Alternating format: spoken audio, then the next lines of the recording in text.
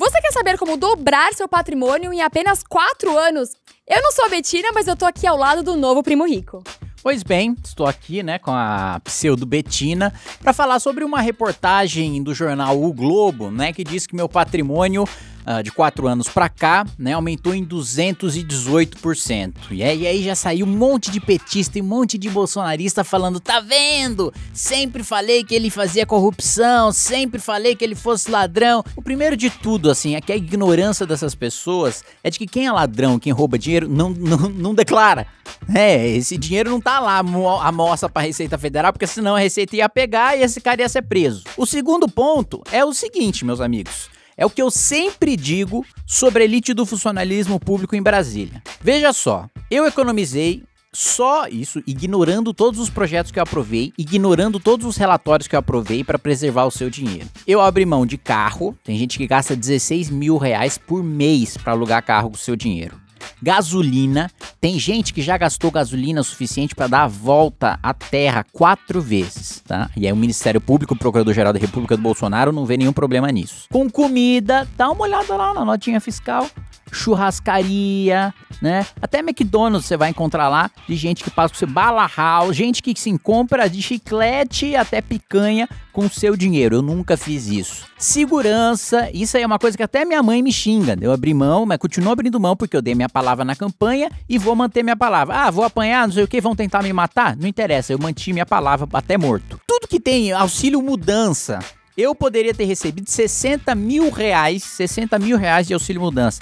abrir mão. Mas para além disso, eu doei mais de 200 mil reais do meu salário. Ou seja, eu paguei meu aluguel, a minha comida, né, o meu Uber e ainda assim doei 200 mil reais. Aí você fala, pô, mas se você fez tudo isso, como é que seu patrimônio saiu de 100 mil para 300 mil reais? Deputado federal ganha 33 mil reais. Líquido, ele ganha 25 mil reais.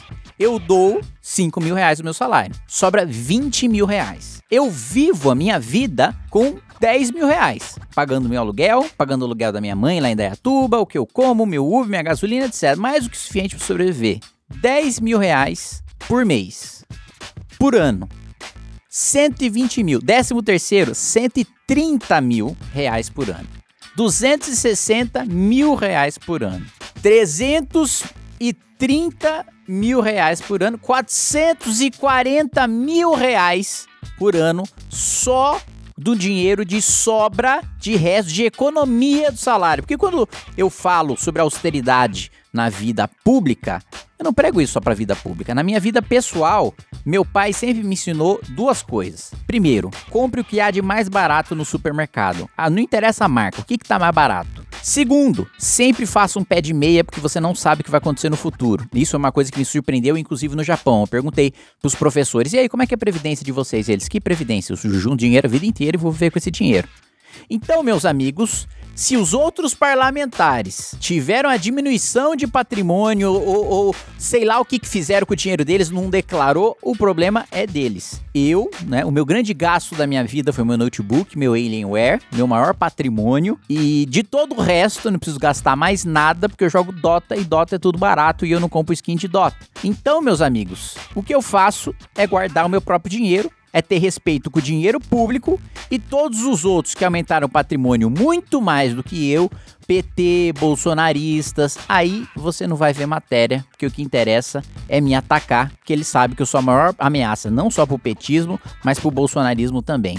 Um abraço, Anselmo. Se quiser dicas de educação financeira, não só eu tenho trabalhado para que isso seja dado no ensino médio e já está no material do ensino médio educação financeira, como também eu posso prestar uma consultoria para você, claro, a um bom preço, como um bom capitalista que eu sou.